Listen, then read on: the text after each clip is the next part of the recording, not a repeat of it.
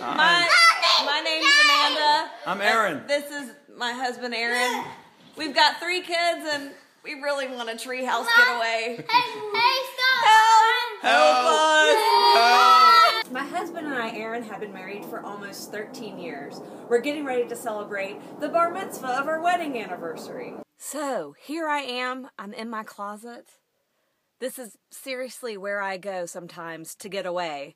Not from my kids, but from the noise. Our house, it's it's not quiet, but we're okay with that. We love noise and we love the chaos. But we'd also love a chance to have some quiet and have some relaxation time. I just need alone time. Ugh. I just want to pee in peace. Mommy, I just want to be with you! I can't remember the last time I was in the bathroom by myself. Mommy, I'm ready to take a bath with you. So we'd love a place where we can listen to music Read. and cuddle. We spent our honeymoon in Costa Rica, and Costa Rica is filled with some of the most beautiful tree houses we ever saw. Um, I think we would love a tree house that captures that, that feeling we had in Costa Rica and all the elements of those Costa Rican tree houses. The birds, being in nature. And we're lucky that we live across from a park and a forest and a creek. So I think I'd love something that um, maybe has a suspension bridge from the deck right outside our bedroom and that goes to this treehouse getaway um, where maybe there's like a wraparound porch where we can look out into the forest and listen to the birds. And inside it'd be great to have A steam room. Mm-hmm. I think um, a big bathtub.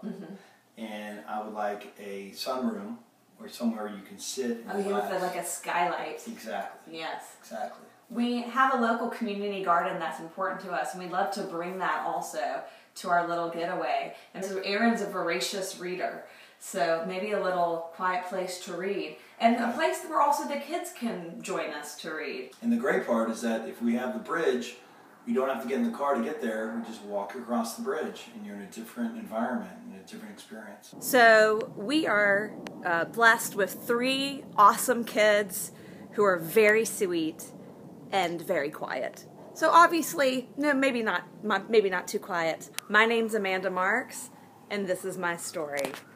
Please give my mommy and daddy a tree house. Oh, we Hell need yeah. some, some wood and some soil. That's right, and your help.